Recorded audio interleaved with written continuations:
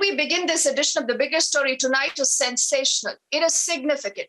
And it tells you that what happens when those who are supposed to protect us only themselves are bringing shame to the police force. The story is about the Mumbai police top cop, and a lot of other people remember, as far as the Mumbai police go, who were caught in this web of corruption, of extortion. The story that Republic has tracked and uncovered very, very closely.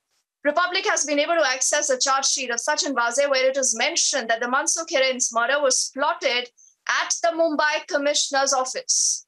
This is hard to believe, but this is exactly what the charge sheet of the investigative agency, that is the NIA, very, very clearly mentions. Now, on your screen, you're reading through more details that we have picked up uh, from this particular charge sheet that has been accessed by Republic and different sections that it also entails. And the entire conspiracy, it says, was hatched at the CP CP's office. Now, CP here is the Commissioner of Police. This is the Mumbai Commissioner's office. And uh, this is a charge sheet in the Sachin Vaze case right now being investigated uh, by the NIA. And it says that Mansukh Hiren's murder was plotted at the Mumbai Commissioner's office. Let's break down every detail of that big story with two of my colleagues, Shawan and Yesha, tracking that story from New Delhi and Mumbai, respectively.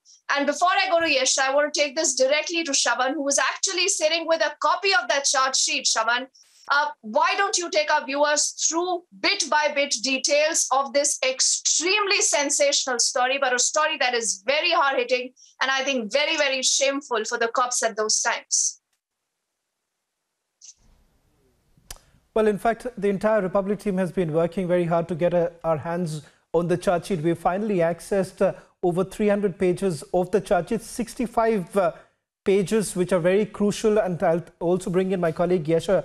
And as we put out these uh, images of uh, the sheet that has been accessed and the charges that have essentially been leveled against Sachin Vaze.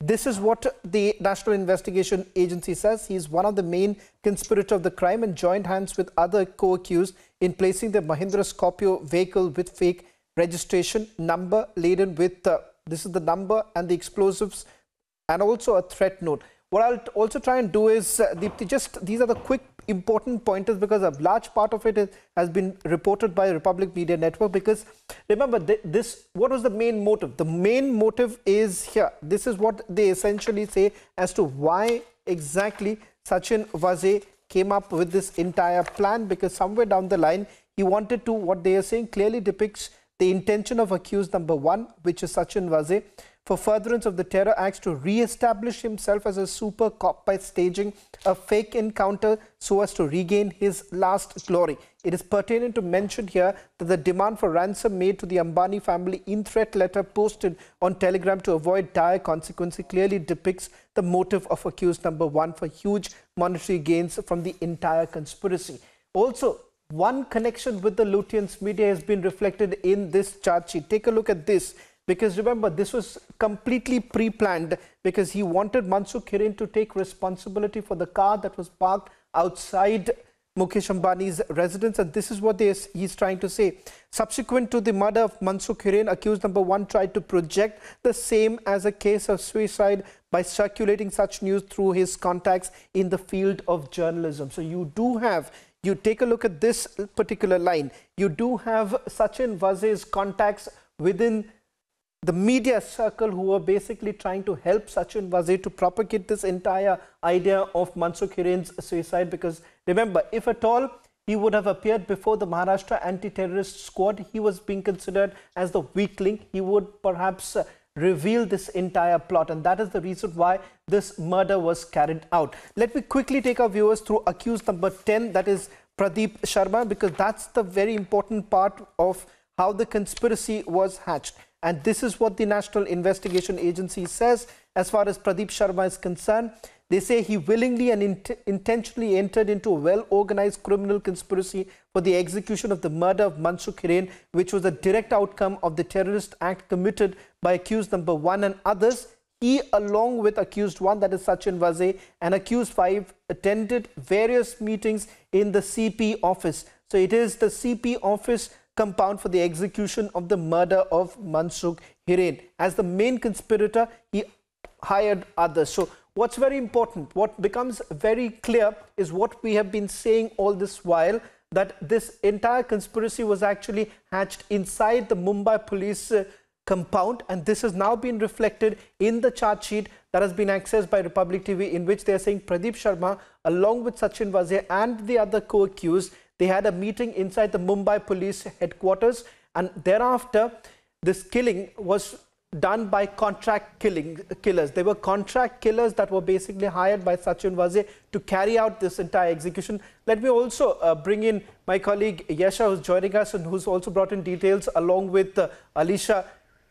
Yasha, there are other very important news points as far as this charge sheet is concerned and that becomes extremely important to also put out as to what exactly, apart from the motive that we are looking at, how exactly Sachin Vaze was being helped by a few people inside the Mumbai police headquarters, how files had certainly disappeared. Can you throw light on the other big news points from this charge sheet that has been accessed?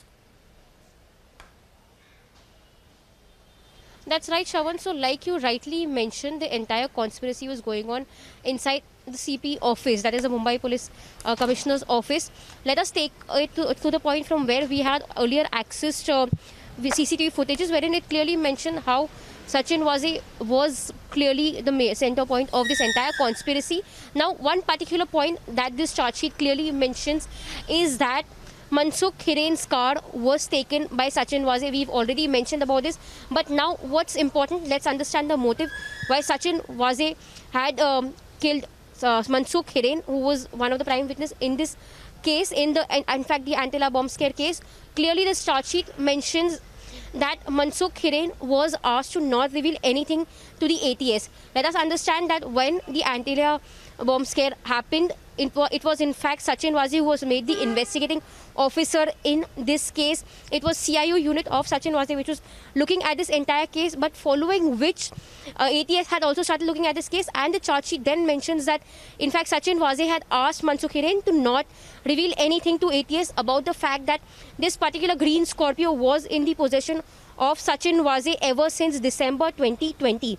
Now let us understand, in fact I would ask um, Vijay Samir to show the entire diagram of how this entire conspiracy of Mansukh Hiren's death took place. There's a diagram which clearly is there in the charge sheet which reveals how four people, four people who were a part of the entire team which was formed by Pradeep Sharma, which clearly show how Mansukh Hiren was picked up from this particular place at Vasai, then later on taken to various locations and lastly dumped at this particular place at Reti Bandar and this following shows how following which they had taken all the possessions of um, Mansukh Hiren. In fact, the charge sheet also, also mentions how Sachin Vaze tried to destroy these evidences.